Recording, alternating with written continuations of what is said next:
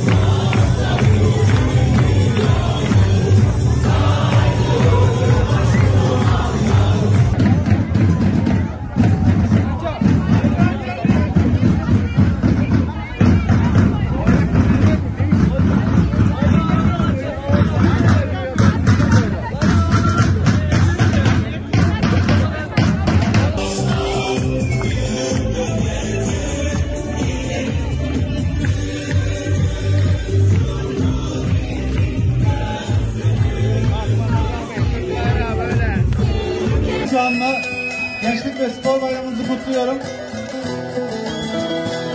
İnşallah bu gençlik olduğu sürece Türkiye Cumhuriyeti ilelebet fayda kalacaktır.